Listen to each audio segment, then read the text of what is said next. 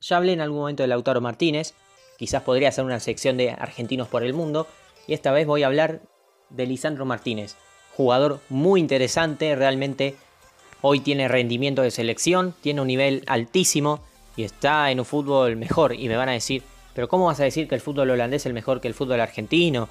Está, no está jugando en la Premier League.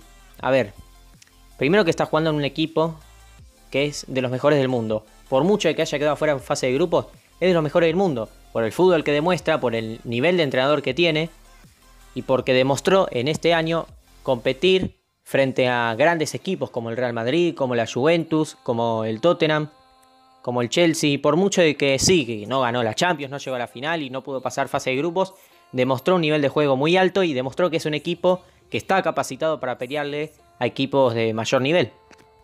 Y Lisandro Martínez llegó a un club donde se le fueron varios jugadores importantes y en posiciones que son en donde él se desempeña y eso lo favoreció.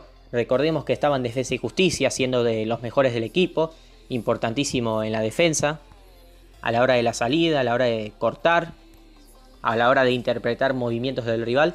La verdad que estaba en un nivel muy bueno e incluso tuvo una convocatoria a la selección argentina. Porque realmente estaba en un muy alto nivel. Pero esta vez era un salto grande y a Europa, demostrar, insisto, teniendo a grandes compañeros, jugar contra grandes equipos. Y se adaptó muy bien. Recordemos que Lisandro Martínez es zurdo. Su posición natural es la de marcador central. Y recordemos el torneo pasado, con Barbosa hizo una gran dupla en esa saga central. Y se encontró en un Ajax donde se fueron jugadores importantes. Se fue de Ligt, se fue de Young, se fue John. Y claro, el doble 5 se desarmó, se fue el central que era importantísimo, el capitán del equipo. ¿Y qué te iba a quedar? ¿Qué, ibas a hacer? Esto poniéndome en el lugar de Ten Hag. Llega Lautaro Martínez, un chico que sí, se hablaba muy bien de él en Argentina. Era un proyecto interesante, pero nadie pensaba que se iba a adaptar así de rápido en el Ajax. Y al principio jugó ahí algún que otro partido de central y pasa a jugar de volante central, de 5. Una de las posiciones más complicadas y más importante en un equipo, porque es el jugador que te da el equilibrio que te da un orden posicional tanto a la hora de salir jugando como a la hora de tener que anular jugadas del rival y es muy importante esa posición. Y Lisandro Martínez poco a poco fue cumpliendo perfectamente con ese rol de saber posicionarse, saber cuándo tocar, cómo salir con limpieza, saber anular bien jugadores y jugadas del equipo rival, tanto achicando espacios como también presionando un jugador muy ordenado y supo adaptarse perfectamente a la posición de mediocampista de contención. Y no es fácil eso, llegar ahí a Europa, en un equipo diferente, totalmente distinto a lo que era Defensa y Justicia, sin querer faltar respeto, pero es la realidad. Jugadores de mucho más nivel, un técnico de mucha clase, vas a competir por la Champions League.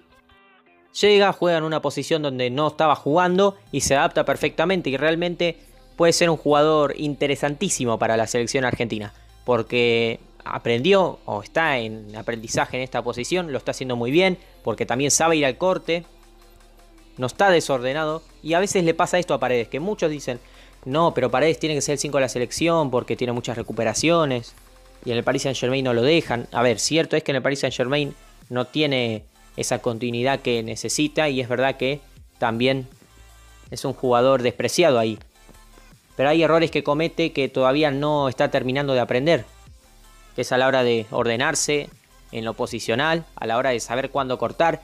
Muchas veces llega tarde, pega patadas innecesarias, porque todavía no aprendió realmente lo que es el 5. Tiene aspectos de volante central, sí, y los hace muy bien, pero todavía no tiene esas 100% de características que necesita un volante central para destacar en ese puesto. Por eso a veces insistí en el 5 de marca, no por una cuestión de, ay, necesitamos un 5 de marca que te corra y punto, no, sino que cumpla con lo táctico y con lo posicional en ese rol. Y por eso a veces hablé de Ascasíbar o en este caso Lisandro Martínez, porque se ve con más claridad lo que es este jugador y lo que podría aportar, porque también tiene para aportar en salida, quizás no tiene esa técnica que tiene Paredes, pero puede aportar, sabe cuándo cortar, sabe cuándo achicar espacios, insisto, ayuda en la presión y tiene muy buen orden posicional, puede jugar con otros 5. Podría ser tranquilamente Paredes y armar un doble 5 Paredes Lisandro Martínez. O si no, podría ir a la saga central, aunque yo creo que de 5, jugando en la selección con un equipo que demostró, o mejor dicho, un Scaloni que demostró que sabe anular a rivales, puede como mínimo cumplir perfectamente y hacer un gran mediocampo junto a Paredes.